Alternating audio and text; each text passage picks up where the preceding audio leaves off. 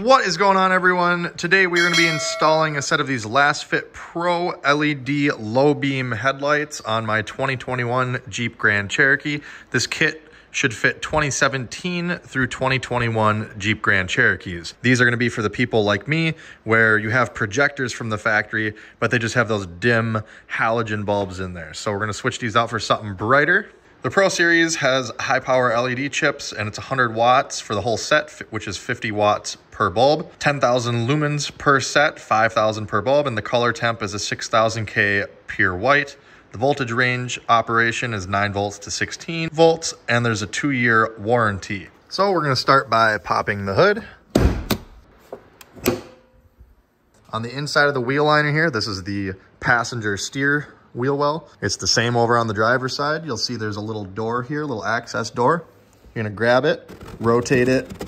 You can spin it either direction, it doesn't really matter, but you'll see it'll eventually pop out. And then you'll go do the same thing on the driver's side. So I'm gonna be going through there and I'm gonna be coming from the top. So it is a little more work, adds a little more time, but it's worth it for the access that you gain. So I recommend you get some sort of a ratchet. I recommend quarter inch drive. Right here I have an electric ratchet Milwaukee, but you can just use a regular quarter inch drive ratchet. You'll also want an extension with a 10 millimeter socket and an 8 millimeter socket. If you don't have an 8 millimeter, you can use a 5 16ths. It's about the same size. And then you'll also probably want a small little flathead screwdriver or a pick. And if you don't have a 5 16ths or 8 mil socket, you can substitute a bigger flathead screwdriver. So the bigger flathead screwdriver the 5 16 socket or the 8 millimeter socket, one of the three. That is gonna be for this clamp right here on the airbox. We're gonna loosen that up. Don't have to fully remove the clamp, just loose enough to where you can pull this back. It may be a little stiff. Don't be afraid to kind of pull on it a little bit. And then you're also gonna want to grab this little breather hose and you can rotate it a little bit to get it free and then pull it off of the air box. Once that is done, you're gonna come over here because this is the air scoop for the intake and you can see there's a little green clip.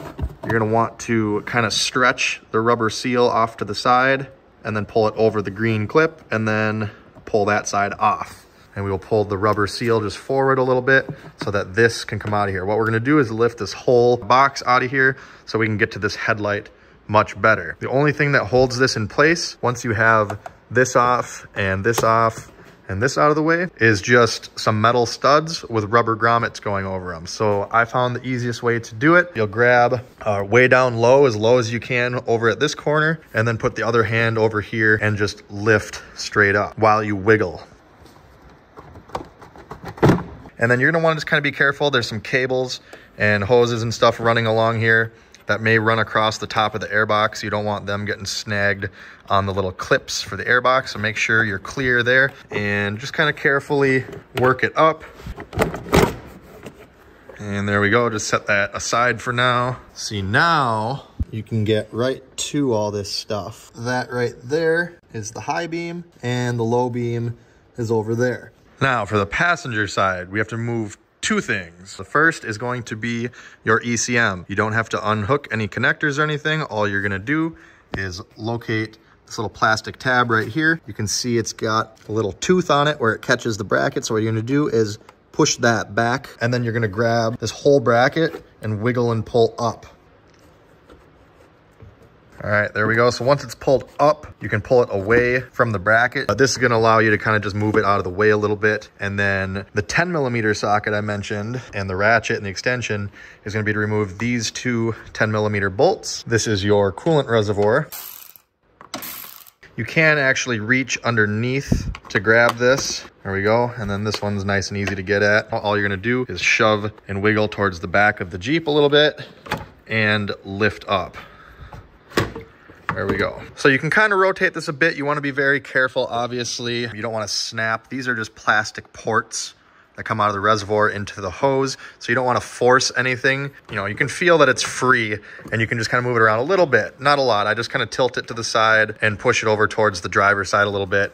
And then this ECM bracket here, same thing. You just move it around as needed. You don't want to do any hard yanking on it or anything. You do have electrical connectors hooked up. So this is just to loosen everything up so you get a little bit of leeway to get better access to the bulbs. And coming through the fender here, you can see the low beam, there's that rubber So I'm actually gonna reach down from under the hood and you'll see there's two little rubber ears right here on the factory dust cover. You wanna grab one of those uh, to pull it off, or you can grab around the edge here and just pull straight away from the headlight assembly. And there we go. There's your low beam bulb, the factory one. Do not disconnect the electrical connector before you pull the bulb. If you drop the bulb down in there and the connector is not hooked up to it, you're not gonna be able to retrieve the bulb without pulling the entire headlight assembly. I'm gonna reach up in there and we're gonna rotate the bulb counterclockwise once you rotate it counterclockwise enough, it will become loose and you can pull it out of there. Here we are on the top side now, low beam bulb right there. What we're gonna do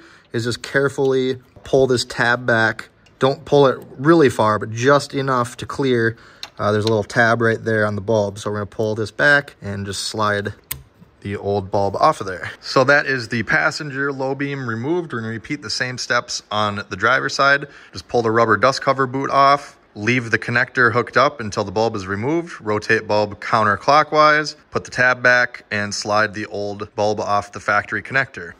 Then we have our LED bulbs with the new dust caps with fans built in. If your bulbs come with a little plastic protector cover over the diode right here, make sure you pull that plastic part off. That is just for shipping so they don't get damaged. So just like a factory bulb, you'll have a couple of different tabs here. There should be three little tabs on the mounting surface of the bulb going around. And you'll see it's kind of hard to notice, but this one right here is a little bit bigger than the other two. So you need to line up the big one with the bigger slot in the projector headlight housing. You can see there's three slots in this housing right here. Line up the bigger tab on the bulb with the bigger slot. Make sure once you get those lined up, you push the bulb nice and flush up against the headlight housing and then you'll rotate it clockwise to lock it in place. There we go. Got it rotated clockwise into position. What we're gonna do is take the factory connector down here, which has this little tab on it, and plug it in to this. It's just gonna push together. There's no alignment tab in here, so the factory connector will plug into this two different ways. So we're gonna try it one way. If it doesn't work, we'll have to disconnect it, flip it over, and plug it back in. And we'll turn our headlights on to the low beam and you'll see it's not working right now. So what I have to do is disconnect it, flip the connector over 180 degrees, and then reconnect. And now you'll see a bright bulb. The fan on the bulb itself is working, and the fan on the dust cap is working.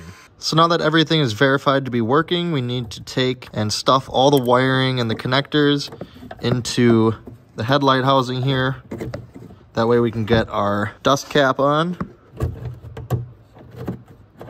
Then we'll take our cap and make sure we install it with the arrow facing down because that is where the fan vent is and we don't want any water getting in there, any sort of moisture that gets in there. We want it to be able to drain out. So that's why it's important this faces down. What we're gonna do is just get it lined up over the hole and then you should be able to just push it straight on just like that. And if you want, if you're having troubles getting this thing on, you can go ahead and just snap it into place and then run your finger around the outside. Make sure that the lip of the dust seal is in fact going all the way around. And then you can rotate it if you need the arrow to be adjusted. And there we go. The cap is pushed on and rotated to the correct position. Now we're gonna repeat all the same steps we just did on the passenger side here on the driver's side. Once we are done there, we're pretty much done in the wheel well here. So we can go ahead and note the cutouts here on the top and the bottom that we will line up our little dust cap with. And we're gonna push on it and rotate it about 90 degrees. That way the tabs are offset from where these are. You need to make sure to push nice and firm when you're rotating That way both the tabs on the little access door here actually grab. If you're not pushing in on it when you turn, uh, you might only get one finger that catches. So make sure both of them are engaged.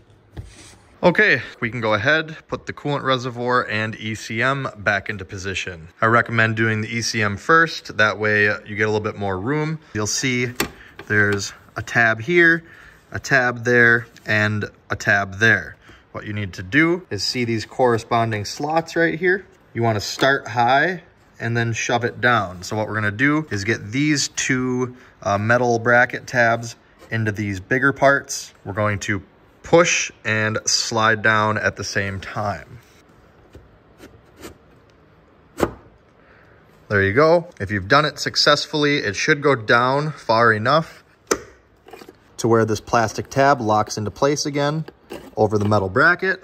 Because it's held in place just with clips, it does have a little bit of play even when properly installed. So don't worry if it does this, that's fine. We're all good there. Coolant reservoir. There's that one bolt right down there. Has a little shoulder on it. So between the shoulder of that bolt and this bracket right here, so right on that bolt shoulder right there is where that plastic part of the reservoir with the little notch is going to ride. So we're carefully gonna wiggle this. Again, be very careful not to break anything. It is just plastic. You get that reservoir notch up onto that bolt shoulder.